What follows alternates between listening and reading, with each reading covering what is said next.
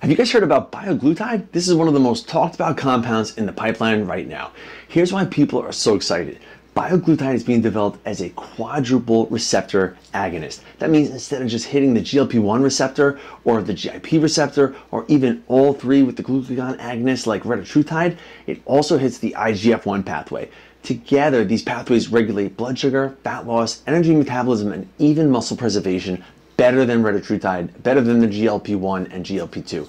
In theory, that could mean stronger weight loss effects with less of the muscle loss that's been a concern with current drugs. But here's the real game changer, oral bioavailability. Traditionally, GLP drugs are long peptides that break down in the stomach. That's why most of them are injections. Even oral semaglutide only works because it's packaged with an absorption enhancer and its absorption is less than 1%. 1%.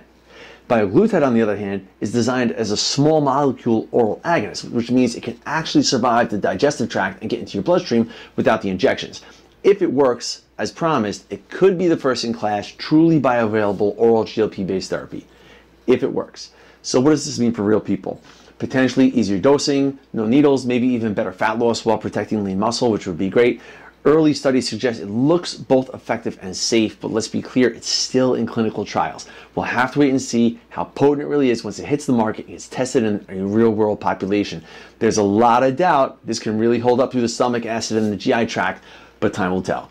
Bottom line, bioglutide is definitely one to watch. If it delivers, it could change the game for obesity and diabetes treatment, but there are a lot of doubters, and ultimately, we'll have to see what the real world efficacy looks like for this new potentially oral GLP. Remember to always be your own health advocate and stay healthy.